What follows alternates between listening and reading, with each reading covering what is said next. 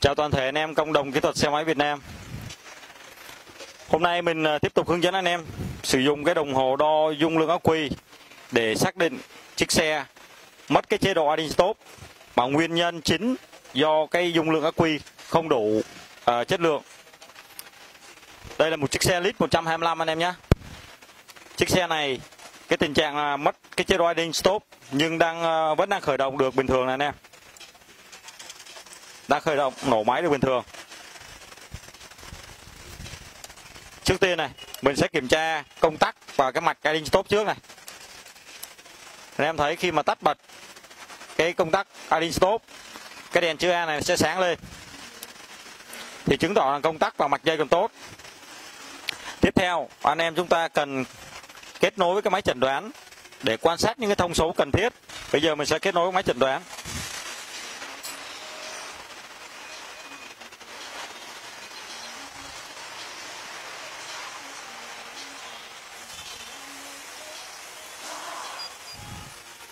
Khi mà anh em kết nối máy chẩn đoán, thì anh em chọn cho mình đúng đời xe nhé.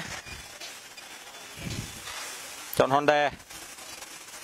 Hướng dẫn kết nối này KB này. Em chọn xe Việt Nam. Và anh em chọn lít 125 anh em chọn vô phần động cơ. Và anh em xuống cho mình cái thông số yên hành, xem cái thông số yên hành. Anh em quan sát cái nhiệt độ động cơ nhiệt độ động cơ phải trên 60 độ. Và hiện nay động cơ, nhiệt độ động cơ là đang à, 80 độ rồi. Tiếp theo, anh em quan sát cái góc mở bướm ga nó phải ở cái vị trí không độ khi mà anh em trả hết tay ga thì đây anh em thấy này, đang là không độ này. Khi mà anh em chạy hết tay ga nó là không độ. Tiếp theo, anh em quan sát cái tốc độ máy này. Là cái vòng tua máy anh em nhá. Tính bằng vòng trên phút đang nằm trong giải tiêu chuẩn luôn 1650 cộng trừ 100 vòng trên phút là có thể rằng anh em cứ lấy số 1650 anh em cộng thêm 100 vòng hoặc là anh em trừ đi 100 vòng thì đây đang nằm ở trong cái giải ở quy định.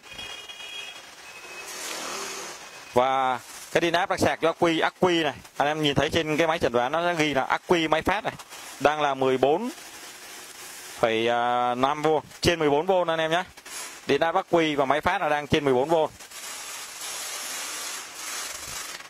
cảm biến O2 dao động và nằm trong giải tiêu chuẩn dưới 1000 mV này nè. Rồi, tiếp theo anh em quan sát cái cảm biến ờ, tốc độ này VS này. Cảm biến tốc độ VS này đi vô ECM và có chặng 3 đi lên đồng hồ thì mình đã đo về ECM luôn rồi. Thì không đứt cái mặt dây về ECM. Và bây giờ mình sẽ xem qua chế độ đi top mà có hoạt động không anh em thấy mặc dù đủ các điều kiện rồi nhưng mà chế độ idling stop không hoạt động. Vậy thì lúc này anh em cần có một cái đồng hồ đo cái dung lượng ắc quy cái dung lượng ắc quy để xác định được rằng cái, cái dung lượng ắc quy này còn đủ điều kiện hay không. Rồi bây giờ mình sẽ gạt chống nghiêng xuống cho tắt máy nhá mình kiểm tra cái dung lượng ắc quy. Anh em thấy nhá chế độ idling stop không hoạt động anh em nhá. Mặc dù khởi động à, đầy đủ các điều kiện nó rồi là bóp phanh này. Công tác đi stop này. Không hoạt động anh em nha. Rồi, bây giờ mình gạt chống nghiêng xuống. Rồi, mình sẽ dùng cái đồng hồ. Mình kiểm tra cái dung lượng ắc quy.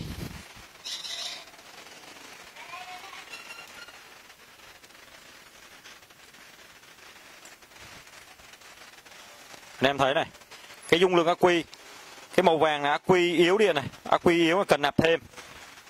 Màu vàng ắc quy nạp thêm. Thì anh em thấy, cái đồng cái bình ắc quy này không đủ cái dung lượng, không đủ cái chất lượng. Thì bây giờ mình sẽ tiến hành thay thế một cái bình ắc quy mới. Trước khi thay thế, mình sẽ dùng một cái đồng hồ điện tử kỹ thuật số. Mình đo cho anh em thấy. Mình vặn đồng hồ về cái thang đo điện áp một chiều này. Và mình đo trực tiếp vào hai cọc bình ắc quy thì anh em thấy này điện áp đang trên 12V mặc dù dung lượng không đủ nhưng mà hiệu điện thấy anh em thấy là vẫn là trên 12V vậy nên khi mà anh em muốn đo cái dung lượng ắc quy là anh em không thể sử dụng cái đồng hồ kỹ thuật số này. Mà anh em cần phải có một cái à, đồng hồ đo dung lượng ắc quy như thế này để xác định nó chính xác và rõ ràng hơn. Bây giờ mình sẽ tiến hành thay thế cái bình ắc quy. Em thay thế dùng anh cái bình ắc quy. Khi mà dung lượng ắc quy không đủ chất lượng ECM nó sẽ không kích hoạt cái chế độ idle stop. Vì khi mà nó kích hoạt cái chế độ idle stop thì có thể rằng sẽ không thể khởi động lại được nữa. Chính vì vậy nên khi mã quy nó yếu đó, nó sẽ xảy ra cái tình trạng là mất đi cái chế độ idle stop. Và khi thay thế cái bình quy vô rồi, thì mình sẽ đo kiểm tra lại cho anh em xem. Sau khi mà thay thế cái bình ắc quy, mình sẽ kiểm tra lại cái dung lượng ắc quy.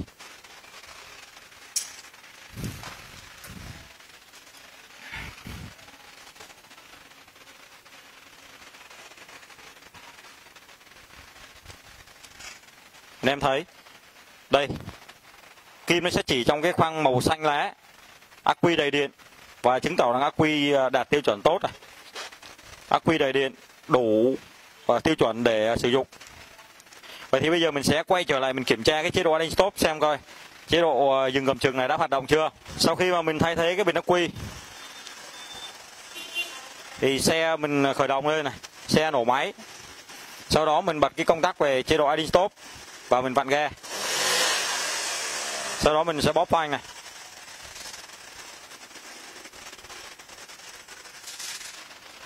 Anh em thấy cái chế độ idle stop này đã hoạt động rồi. Và bây giờ mình vặn ga trở lại.